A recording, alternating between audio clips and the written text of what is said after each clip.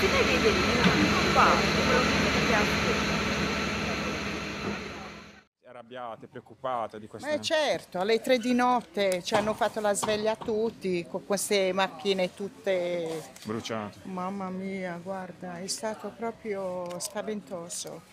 È una cosa brutta che sta succedendo. Oltre per le macchine, ma stanno rubando anche molte bici, quanto ho visto. Me ne hanno rubate due in eh, due mesi, tre mesi.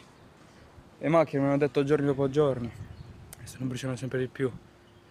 Quindi sì, io sono preoccupato. Sì. A me è successo proprio giù a casa, quindi siamo molto preoccupati, ci vuole molto più controllo, sono di quel parere. Preoccupati sì, perché comunque può essere coinvolto chiunque, basta lasciare la macchina fuori e tutti più o meno lasciamo la macchina fuori. Eh, Certamente siamo preoccupati, Eh, ci vuole più rinforzo di, di- di polizia, ci vuole più controllo.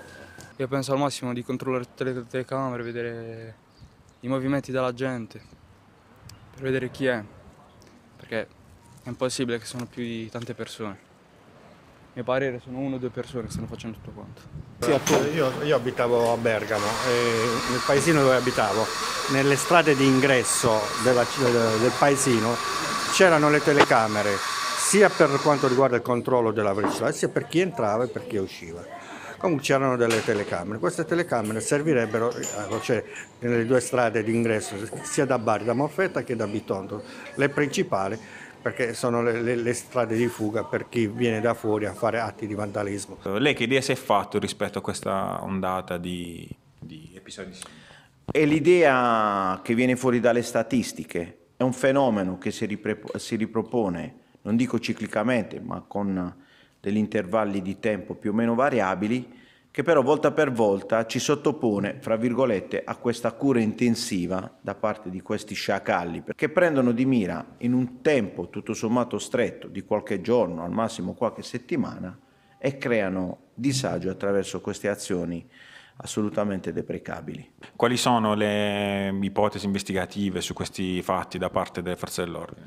Allora, le forze dell'ordine chiaramente hanno tutti i numeri del fenomeno ed è un fenomeno che, come ho già avuto modo di ripetere più volte, è anche distribuito sul territorio, perché ci sono città come Molfetta, per esempio, che hanno numeri ehm, abbastanza coerenti con quello che accade da noi. All'interno di tutto questo, le forze dell'ordine hanno fatto delle valutazioni che io mi sento di dare per buone, che tengono conto che alcuni, una parte sicuramente residuale, degli incendi sono legati a vendette, questioni che hanno- vengono fuori da altre storie. E poi c'è la stragrande maggioranza di quello che accade che è sicuramente de- nelle mani di qualche squilibrato o peggio ancora di qualcuno che ha bisogno di questi atti per dare sfogo al suo essere mitomane. Che si sente di dire cittadini che comunque esprimono preoccupazione anche rabbia per quello che sta succedendo e qual è la risposta che met- sta mettendo in campo l'amministrazione comunale? Allora, prima di tutto il dispiacere grande. Ai cittadini sento di dire che però noi questa cosa dobbiamo per forza di cose sopportarla e cercare di risolverla insieme. Non c'è altra alternativa.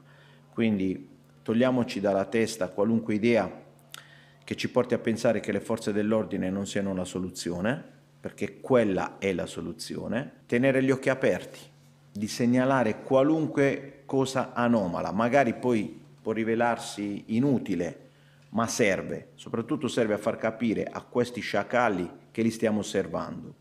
La nostra amministrazione si è già attivata per tempo, eh, diciamo lo dicono le carte, atteso che noi prima del 31 dicembre avevamo già affidato attraverso una procedura ehm, ad un'azienda specializzata nel settore il ripristino, il potenziamento e in qualche caso anche l'implementazione del sistema di videosorveglianza attualmente esistente sul territorio per far sì che questo sistema possa funzionare meglio, ma soprattutto possa essere controllato e monitorato H24 da una centrale di controllo che è in capo a questa azienda stessa. Ma non solo.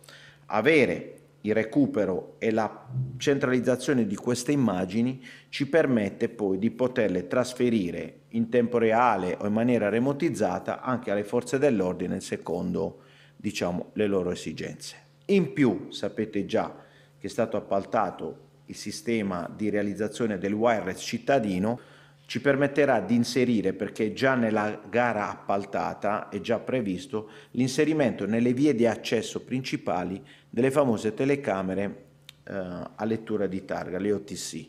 Telecamere che all'epoca abbiamo diciamo, anche scelto come tecnologia, eh, confrontandoci con i tecnici delle forze dell'ordine, perché proprio dall'inizio noi abbiamo sempre voluto lavorare con loro per far sì che parlassimo la stessa lingua e che potessimo eh, avere un prodotto che possa essere il più utile possibile agli inquirenti per fare al meglio il loro lavoro.